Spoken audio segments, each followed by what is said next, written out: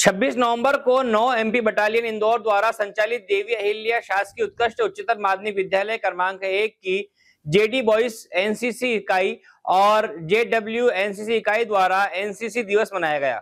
NCC day march past में NCC ध्वज को parade commander Vikas Bamniya junior division JD boys, platoon commander Jayant Kushwaha, junior wing girls, platoon commander Akshita Dangode द्वारा सलामी दी गई। सलामी संस्था के एनसीसी ऑफिसर मुरली खोड़े, प्राचार्य राजेंद्र पाटीदार, डॉक्टर मीरा रखोलिया द्वारा ली गई। सलामी मार्च पास्ट के बाद सभी एनसीसी कैडेट स्कूल के सभागृह में एनसीसी ऑफिसर द्वारा अतिथियों और कैडेट्स को एनसीसी के इतिहास और एनसीसी डे कार्यक्रम के बारे में विस्तार से जानकारी दी गई। Bureau report Khargone.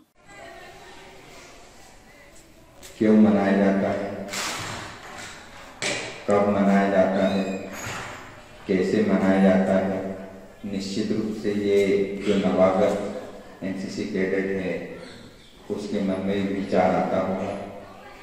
तो आज हम अभी आपको सभी को बता देते हैं कि इस कार्यक्रम के माध्यम से कि इसकी स्थापना कब हुई, कैसे हुई, क्यों हुई, क्या उद्देश्य को लेकर के हुई, ये सारी चर्चा हम आज के इस कार्यक्रम में हमारे साहब के माध्यम से मंचा समितियों के माध्यम से मैं आप लोगों को बताना चाहूँगा। यूनिफॉर्म ही अपने आप में इतना प्राउड फील कराती है, अपने आप को गर्व से भर देती है कि ऐसा लगने लगता है कि हम भी कुछ देश के लिए कर सकते हैं। तो यूनिफॉर्म आप लोगों को जो मिली है तो बड़े सौभाग्य की बात है कि आप एनसीसी कैडेट्स हैं। मैं भी एनसीसी की कैडेट नहीं हूँ, seven M P girls battalion Sagar और मैंने भी एनसीसी का देवानी सैनिक स्कूल में वहाँ कैंप और प्रशिक्षण प्राप्त किया है। तो उस समय ऐसा लगता था कि छठ पंक्ति में हम लोग भी देश के लिए कभी लड़ेंगे। तो एक मन में इतना ज़्यादा एक उत्साह और जुनून भरा होता है, ये वर्दी आपको जो यूनिफॉर्म मिली है वास्तव में इतना अंदर से इतना आपको उत्साहित करेगी कि आपको ऐसा लगेगा कि हम वास्तव में देश के कुछ काम आ सकते हैं। तो जो एनसीसी का मोटो है ये वास्तव में हमें जीवन में भी अपनाना चाहिए और अनुशासन ही पूरे जीवन को नियंत्रित करती है और आपके आने वाली सारी समस्याओं का समाधान अनुशासन के माध्यम से प्राप्त हो जाता है। तो समस्याएँ आने का नाम ही नहीं लेती हैं। तो निश्चित रूप से ये छोटे बच्चे जो वास्तव में आगे चलकर के अपना अनुशासित जीवन और देश के लिए कुछ काम आ सकते हैं।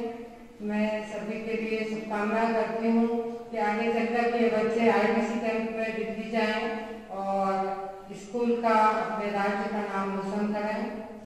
खोले सर ने बहुत कुछ यहाँ पर बताया। क्योंकि मैं इससे पहले ऐसी संस्था में रहा जहाँ एनसीसी का संचालन नहीं होता था।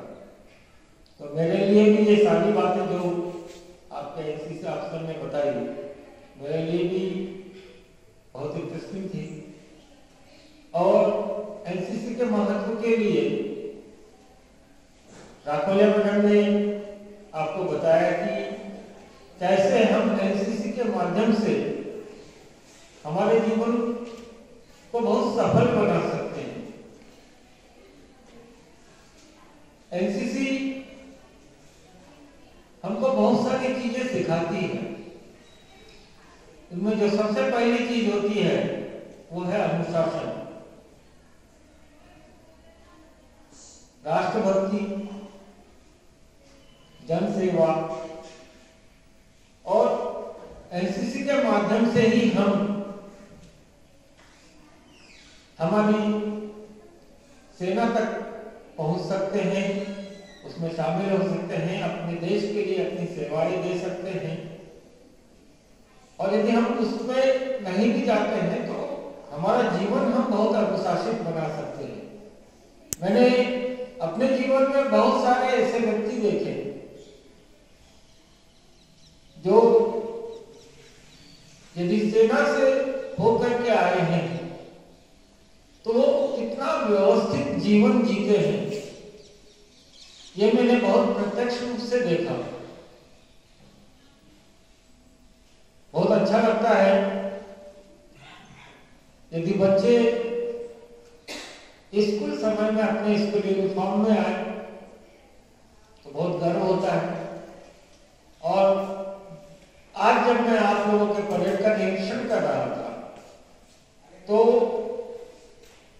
आप लोगों को एनसीसी के यूनिफॉर्म में देखकर और आपके चेहरे की चमक देख करके बहुत आनंद आया। हेलो फ्रेंड्स आप देख रहे हैं हमारा channel S W twenty four news हमारे सारे वीडियो सबसे पहले देखने के लिए आप हमारे चैनल को सब्सक्राइब करें और पास में लगे बेल आइकोन को दबाना बिल्कुल भी ना भूलें।